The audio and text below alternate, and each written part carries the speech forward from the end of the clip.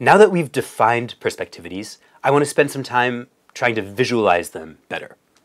So, in particular, we've defined perspectivities between planes in the extended space P3, but it's still very interesting and valuable to visualize the restrictions to planes in R3, the ordinary Euclidean space. So let's look at some real life examples or interpretations of perspectivities. Now, as a warning, we're going to keep abusing notation and letting the, the symbol pi refer to both the ordinary plane in R3 and an extended plane in P3. So and it'll hopefully be clear from the context.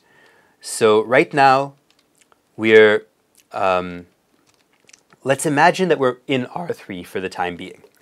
And pi and pi prime, they, they really are planes in P3, but we're looking at the restrictions to R3. We're ignoring all the points at infinity for the time being that are associated to pi and that are associated to pi prime. Actually, they also have associated points at infinity, and each one has, has a line at infinity associated to it. But we're going to ignore that for the time being, and we'll bring those in in just a second. So let's imagine a set of railway tracks on the ground plane pi. And imagine that we are drawing on a picture plane pi prime, which is kind of perpendicular to the ground and to the railway tracks. And our eye is kind of a center of perspectivity, O, as well. So here's a point x on pi, and it maps to a point gamma of x on pi prime. And our sight lines create a perspective image of a portion of pi onto a portion or up, uh, upon a portion of pi prime. So all of these rail, the, the portion of pi prime over here uh, these railway tracks are creating an image of railway tracks in this portion of the of the plane pi prime. And we can ask the question whether we can extend the drawing further once we've drawn the tracks up to this vanishing point here. And unfortunately, it doesn't seem like we can if we're imagining that we're actually in real life doing a drawing uh, of the ground plane. Of course, there might be stuff sitting above the ground plane, but for this example, everything we're drawing is in the ground plane pi, and we're drawing onto this plane pi prime. So no matter how far out we look in the plane pi, no matter how far out we look, we're not going to get, we're not, are, we're not going to see anything above or even on the horizon line h, no matter how far out we look. So this region, which is kind of infinite, is going to map to this finite region here on pi prime via the perspectivity.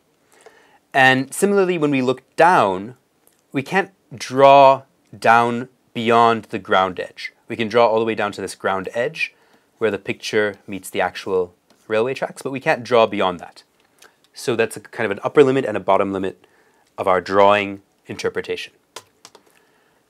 So basically the perspectivity map it, if we interpret it as a drawing, it's stuck there. But in fact, the map is defined everywhere. So it does extend further down. But we'll need to change our physical interpretation in order to extend it. So, or in order to understand that part of the map. So let's try drawing further down. And now, I mean, let's try exploring what the perspectivity does further down. But we're not drawing anymore. We're not doing a perspective drawing. We're now doing kind of a shadow projection of a different portion of pi to a different portion of pi prime. So now this point here is going to get projected. This is a point from pi, but it's going to get projected to this point here in pi prime. And similarly, we can keep projecting all these points, and we'll get we'll extend the image of the railway tracks further down that way through that projection. We can keep going further down. We can keep projecting, doing this shadow projection, but once again, we're going to reach a limit of that interpretation. And when we reach this line k in, pi, in, the, in the plane pi, then the, suddenly the lines joining O, just to clarify, this is the center of perspectivity O right here, and draw it in black. So once we reach uh, that, that line K, suddenly the points connecting O to points in K are all going to be parallel to the plane pi prime. They're going to be parallel to that vertical plane pi prime. They're not going to hit pi prime as a result. So we're reaching a hard limit because suddenly in the real life R3 interpretation, our perspectivity doesn't even seem to be defined. We're actually hitting points at infinity of pi prime now. Okay, so we've kind of, now, this is another region, this is a finite region of pi, which is going to map to this infinite region of pi prime. So we see that a perspectivity kind of mixes up finite and infinite regions. It doesn't really care about what's finite in one plane or infinite in another. Somehow it, it, it's thinking in a different way. Now beyond the limit, beyond the line k, we need to change our real life interpretation again. And suddenly we're not doing shadow projection. We're taking a photograph and recording the image on a photographic negative. So we're taking a photograph of the ground plane pi and recording the image on this photographic negative pi prime. So like this point here is going to map to this point here. This point here is going to map to some point over there, and so on. We'll get this image here. And you might notice that in this region, the perspectivity seems to be reversing orientation, at least from our R3 vantage point.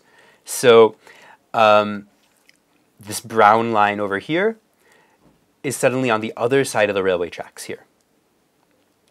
It's always on the right side in all of these in this image, but suddenly here it's on the left side. So we've reversed orientation when we've gone from this region to this green region here. So this is a third region, and in this case both actually seem infinite in both pi and pi prime. So maybe the moral of the story is just that perspectivities are kind of strange if we try and give them a global, real life interpretation. By global, I mean looking at its behavior on all of pi and all of pi prime, not just a small portion. It sometimes looks like a camera, sometimes looks like a flashlight, sometimes looks like our, our, our eye doing a perspective drawing. So, on the other hand, but to a projective geometer working in P3, whose primary setting is P3, all these interpretations are actually just a red herring. They're misleading because the map is defined without reference to time or light traveling or an order of points being arranged. Um, more specifically, let's just recall the definition. So x, a point x, maps to gamma of x. x in pi maps to gamma of x in pi prime if and only if the points O, x, and gamma of x are collinear. There's nothing there about a light ray from O first hitting x and then hitting gamma of x, or first hitting gamma of x and then hitting x. There's not that that doesn't really come into the, into play. So, in fact, since we're in P3, this line which connects O, x, and gamma of x is actually circular. It's gonna it's gonna have a point at infinity, Pox, and via that point at infinity, it's actually kind of circular. So there's really no preferred or natural ordering to the points O, x, and gamma of x. We can take them in any order, depending on where we start and which direction we go. But so yeah, to, so to a projective geometer, all these interpretations are really a red herring. They're not telling us anything. They're kind of misleading us in a different direction from the, the actual fundamental nature of this map. But at the same time, at the end of the day, we do inhabit R3, and understanding the restriction of a perspectivity to R3 is still a very valuable exercise. So it's sometimes good to put on both hats and see it from both perspectives.